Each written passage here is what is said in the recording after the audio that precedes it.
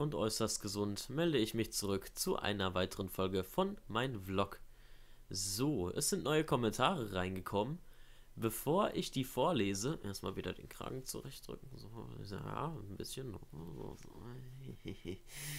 ja. So, bevor ich die vorlese, mir ist heute ein lustiger Sketch eingefallen, den wollte ich aber nicht eigenständig machen. Ich wollte den als Video sozusagen machen, beziehungsweise hier ein bisschen einbinden. Ja, ist immer ein bisschen schwer hier so, ja, so die Haare dahinter, gut. Ähm, und zwar, wie macht ein fröhliches Schaf? Mäh. Wie macht ein trauriges Schaf? Mäh. Wie macht ein wütendes Schaf? Mäh. Wie macht ein, boah, was, was gibt's denn noch? Äh, wie macht ein gelangweiltes Schaf? Mäh. Mäh. Wie macht ein. das ist so eine Scheiße. Warum. Ganz ehrlich, bei uns ist der Unterricht äh, in der Maßnahme ist so langweilig. Da denke ich mir schon so eine Scheiße aus. Ähm, warte, was könnte man noch machen? Wie hört sich ein müdes Schaf an? Mäh. Und jetzt kommt der Hammer. Wie hört sich ein bekifftes Schaf an?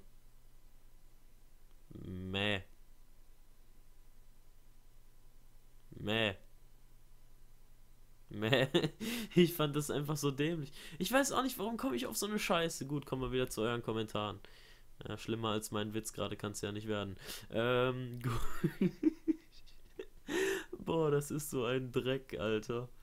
Okay, komm, wir ähm, machen mal wieder die Kommentare. Ich bin wieder leicht müde, hab mir gerade noch eine Mütze Schlaf gegönnt, hat aber nicht viel gebracht. So, mein, mein Vlog 33b wird kommentiert von Shaman Queen. Ach, so geht das. Ebenfalls ein Kommentar auf Let's Talk Verbot für Energy Drinks.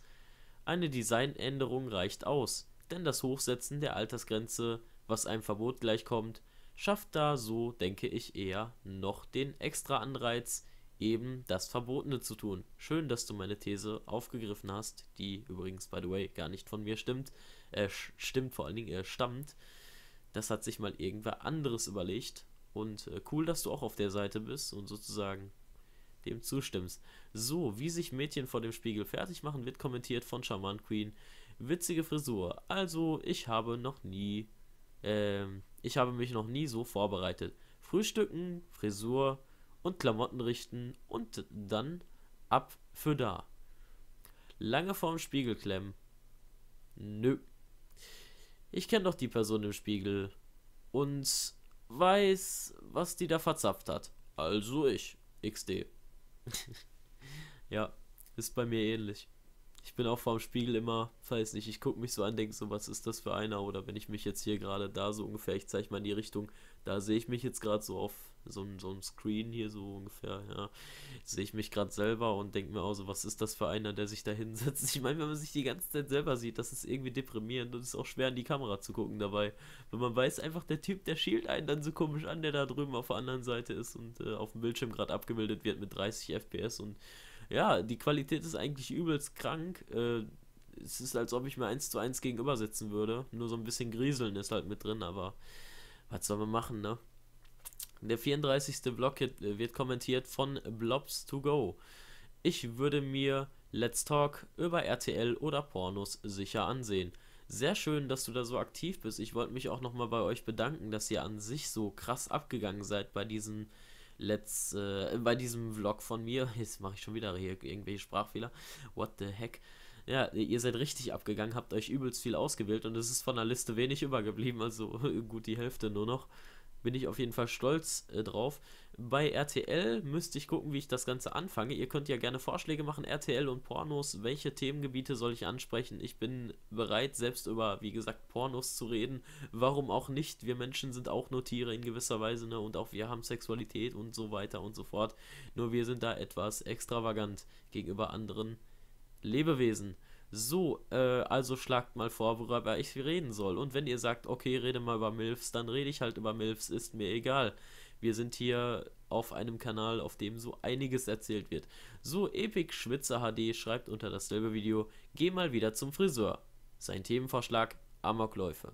Ja, das habe ich heute gemacht. Werdet ihr morgen dann wohl sehen, wenn ich es noch schaffe, diese Scheiße hier heute hochzuladen. Äh, wobei das Internet zum Glück ja schneller ist und es ist ein Traum. Es ist schon viermal so schnell mittlerweile. So, Barisch Tosak kommentiert ebenfalls, ich finde Themen wie der Euro zwar sehr interessant, okay, damit nehme ich das Thema der Euro einfach mal auf, aber würde mich doch eher über das Thema Gewalt an Schulen freuen. Und nein, ich habe nicht gegessen. Das war eine Anspielung darauf, dass ich mal irgendwas ekliges erzählt hatte und er dann meinte, bei deinen Videos esse ich nie wieder. Und ja, ich habe dann noch was ekliges erwähnt und nun ja, er hatte wohl offensichtlicherweise nicht gegessen. Gut so. Atakan Kochaman schlägt vor Cybermobbing, erste Beziehung, Gamer Girls und RTL. Damit haben wir RTL schon mal als festes Thema, da zwei Leute das vorgeschlagen haben. Schade, dass die Aufrufe über Handy nicht mitzählen. Dann hättest du überall einen Aufruf mehr. Ein Thema von denen, die ich erwähnt habe. Okay. Fände ich jetzt auch ganz cool eigentlich. Die erste Beziehung, das ist ein bisschen schwer darüber zu reden, könnte ich machen. Da müsste ich aber doch noch ein bisschen weiter ausholen. Wie ich schon sagte, äh, ihr, ihr könnt immer noch vorschlagen, haut rein. Ich habe die Liste immer noch, die wird auch weitergeführt. Äh, am besten, ich will ja jetzt zwei Let's Talks pro Woche machen. Und da das Jahr 52 Wochen hat, das heißt nicht genau 52, weil ja schon ein paar Wochen rum sind, ne, wissen wir alle. Aber da kommt so einiges bei rum, ne? Und ich brauche Themen dafür. So, nächster Kommentar von Ex. Hä? Extractors, ganz komisch geschrieben. Ey, nice Video. Würde mich freuen, wenn du uns auch mal. Äh, was? Wenn du bei uns auch mal vorbeischauen würdest. Hab richtig geile Videos drin. Ja, das glaube ich. Ich hoffe, ein paar Leute melden dich. So, äh, Theo App schreibt unter das Video. Ja, super. Ich war im Urlaub und jetzt darf ich die ganzen Vlogs ansehen, die ich verpasst habe. Da gucke ich aber lange. Musst du auch so viel, viele Vlogs hochladen? Oh, mein Leserhythmus heute, ey Gott. Jo, und deswegen war ich auch eine Weile nicht aktiv bei dir. Ich hoffe, du bist mir nicht böse, dass ich im Urlaub mir deine, äh, nicht deine Videos reinziehe. Hashtag Hashtags. okay. Ja, das, steht noch mehr Anzeigen, dann kommt aber nichts mehr. Das ist total dämlich. Was macht YouTube da wieder für eine Scheiße? Ja, äh, ich bin da natürlich total sauer, dass du jetzt meine Videos nicht guckst, ne? Arsch und so, nee, Spaß beiseite. Ähm, ist nicht schlimm. Also, das, ich bin richtig stolz auf dich, Alter, dass du das, ähm, dass du die Videos aufholst. Ne, du warst im Urlaub, konntest es dir, ich gebe das mal kurz wieder, weil ich es gerade so stockig gelesen habe. Du warst im Urlaub, konntest dir die Videos nicht anschauen und jetzt holst du sie alle nach. Ne, ein bisschen regst du dich auf darüber, boah, warum machst du auch so viele Videos? Aber es ist schon in Ordnung. Ich bin dir nicht böse. Ich finde es mega korrekt von dir und ganz ehrlich, viele andere können sich an dir ein Beispiel nehmen. Jetzt nicht auf meinen Kanal bezogen, aber auch vor allen Dingen bei anderen YouTubern. Es gibt Leute, die haben 100 Abonnenten und die haben ihre 2-3 Klicks pro Video, wenn sie das hochladen nach 24 Stunden. Und mit denen habe ich Mitleid. Aber wirklich. Ich bin auch sogar bereit, mal jemanden zu unterstützen, der gar keine Abonnenten hat. Einfach um ihn nach oben zu bringen. Das habe ich mal gemacht bei, äh, wie hieß er denn noch? Bei Creepypasta Storyteller. Mit dem habe ich zusammen eine Vertonung gemacht. Die hat 86 Aufrufe eingefahren bisher. Das war an Halloween. Das war jetzt nicht so krass, 86 Aufrufe, aber es haben ein paar Leute bei ihm vorbeigeschaut und das hat mich stolz gemacht. Eine Freundin von mir, ich gucke mal kurz, ob sie es mir schon geschickt hat, Nee, die wollte jetzt mit ein paar Freundinnen von sich auch ein Video machen und einen YouTube-Channel eröffnen. Nicht unbedingt jetzt aktiv sein, aber so, so zum Spaß, ne? So fängt das ja immer an und dann macht man irgendwann aktiv Videos und sitzt dann hier jeden Tag wie so ein Idiot und äh, liest Kommentare vor. Viel Spaß beiseite. Äh, wenn das soweit ist, ne, stellt euch darauf ein. Ich werde es verlinken, dann könnt ihr euch das gerne mal anschauen. Das ist eine Freundin von mir. Die fand mich auch mal ganz süß und äh, hat mir auch mal so ein paar Geständnisse gemacht und nun ja, ich ich fand es äh, total süß von ihr und auch was sie für mich einfach tut, dass sie mir auch so oft richtig gut zuhören konnte. Manchmal war sie ziemlich affig zu mir, aber so what. Ja, ne? ja ich würde mich auf jeden Fall freuen. Sie ist äußerst hübsch. Also schaut äh, vorbei, wenn es online ist. Ich kann es nicht garantieren. Also ich werde es dann erwähnen. Schaut bitte nicht in die Beschreibung deswegen. Ne? Da findet ihr nur die ölkige Playlist mit den ganzen anderen Vlogs. Ihr könnt also, wenn ich es dann erwähne, dann könnt ihr mal in die Beschreibung schauen, aber das, das, das, wird wohl noch ein bisschen dauern. Ich weiß auch nicht, ob die das durchziehen. Ich bin da ein bisschen skeptisch, aber ist ja auch egal. Ich freue mich auf jeden Fall total, dass sie auch mal ein Video hochladen wollen. So, ich sehe sie nämlich verdammt gerne äh, in Videoform, weil es halt schwer ist, bis nach ja, wie soll ich sagen, Nordostdeutschland zu fahren. Wobei Ost ist auch relativ, das ist so ein bisschen, ich weiß nicht, ich kann nicht sagen, wie die Stadt heißt, aber es ist, boah, das ist verdammt weit weg. 592 Kilometer. So, soweit ich es noch weiß. Äh, Theo App schreibt auch unter mein Vlog 33b. Ah, so geht das also. Danke. Ich hatte ja keine Ahnung. Ich Vollidiot. Naja, aber einen Tipp habe ich für dich. Wasch das nächste Mal nicht im Waschbecken. Denn das verkratzt langsam. Nein! Entschuldigung.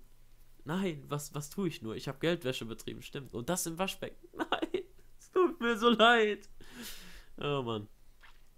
Reaper schreibt unter meinem Vlog 34 A oder weiß ich gar nicht. Ist das mit A und B? Interessiert mich gerade nicht. Adblocker, Selbstjustiz, Weltfrieden und Waffenbesitz sind interessant. Werde ich machen. Destroytron X, nimm mal Cybermobbing. Das hatten wir irgendwo auch schon. Ich habe keine Ahnung wo. Ich guck mal kurz. Ich muss mal eben an den Mac. Jetzt habe ich jeden Satz von äh, gerade nochmal mit dem Wort Ich begonnen. Das kommt auch so ein bisschen eselig rüber. So, Algesio wollen wir nicht. Ich habe bei. Ja, das werde ich auch noch erwähnen, wenn es online ist. Äh, Multi von German Creepypasta sozusagen, der der hat jetzt auch eine Vertonung, beziehungsweise hat zugesagt mitzumachen bei einer Vertonung, wo ich auch dabei bin. Das werde ich euch ebenfalls verlinken. Also wenn ich irgendwo mal zu Gast bin, dann werde ich euch das zeigen. So, wo war das? Cybermobbing wurde vorgeschlagen von Atakan Kuchaman und von Destroytron X. Genau, somit haben wir auch nochmal ein Thema, was zwei Leute vorgeschlagen haben. Und yo, das wird die Wahrscheinlichkeit erhöhen, dass ich das dran nehmen werde. Bitte ein paar Anhaltspunkte geben, worüber ich da genau reden soll. So, Electrix HD XXL. Nee, Spaß, ich kenne ihn ja schon länger. Äh, dich, meine ich. Äh, ich spreche ja die Leute hier direkt an und so. Kommt besser. Haha, ich lache mich gerade. Ach nee, stimmt, ich habe gar nicht erwähnt, welches Video das war. Mein Vlog 33 war das. Wahrscheinlich. Ja, das war A.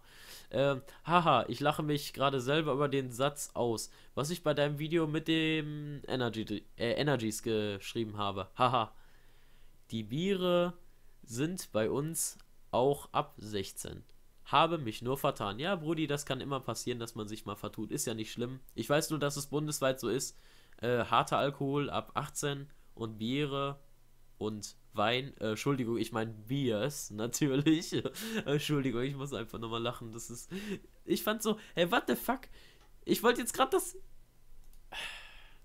Gut, ein, Glück, es ist, nur, es ist nur eine Antwort auf einen Kommentar meinerseits. Oh, ich dachte, jetzt trudelt noch ein Kommentar ein. Wahrscheinlich wieder so ein, boah, so, ein, so, so, so ein richtiger Textfetzer, der mich erstmal total aus der Wallung bringt. Äh, ja, lieber Elektrix, also das, das ist, ähm, das ist nicht unterschiedlich, das ist bundesweit eigentlich dasselbe. Äh, es ist nur ein bisschen unklar bei Kiosks oder Kiosken, keine Ahnung. Gut, jetzt bin ich mal der Dove, jetzt weiß ich nicht, wie das heißt. Ich kann es mal kurz googeln. Also. Mehrzahl beziehungsweise Plural. Ich war ja damals auch im Gymnasium und so. So, Kiosk. Ich guck mal kurz, das steht im Duden hier irgendwo. Die Mehrzahl von Kiosk ist. Oh mein Gott, das ist ein Substantiv. Nein, das hätte ich jetzt nicht geglaubt. Worttrennung. Kiosk. Kiosk. Kiosk. Kiosk. Ja, ich kenne das auch noch mit dem Klatschen. Bedeutung. Verkaufsstelle oft in einem leicht gebauten Häuschen für Zeitschriften, Getränke, Süßigkeiten, Zigaretten, oder ähnliches. Warum steht da nichts von Alkohol? Ach ja, oder ähnliches. Synonyme, Bude, Bude, Mann, Marktstand, okay, Stand, Trinkhalle, österreichisch. Was? Okay, Wasserhäuschen, Landwirtschaft, ach, landschaftlich. Nee, ich will mal gerne wissen, was das jetzt Dativ, dem Kiosk. ja, äh, das kann man also. Äh, das, das, für manche ist es der Nominativ, dem Kiosk. So, äh, ich würde mal gerne wissen, was das jetzt eigentlich in der, im Plural ist, aber das steht hier nirgendwo. Kiosk der. Warum steht hier nirgendwo der Plural, Mann? Ist doch scheiße. Oder bin ich zu blöd, den zu erkennen? Hier, Plural, die Kioske. Kioske ist richtig. So, jetzt haben wir uns wieder an einer total sinnlosen Aufgabe äh, aufgehalten, ungefähr so wie zwölf Jahre in der Schule bei mir und jetzt mittlerweile in der Maßnahme und wahrscheinlich dann beim Studium genauso. Oh Gott, ist mein Leben scheiße und das von allen anderen auch. Gut, ich äh, bedanke mich fürs Zuschauen. Ich hoffe, ihr kriegt nicht AIDS oder sowas Schlimmes. Und äh, ja, also immer schön Gummi verwenden. Ne? Hat jetzt zwar überhaupt nichts mit dem Video zu tun, aber eine gute Weisheit ist es trotzdem. Haut rein, macht's gut. Euer Ketter sagt Cheerio. Kein AIDS.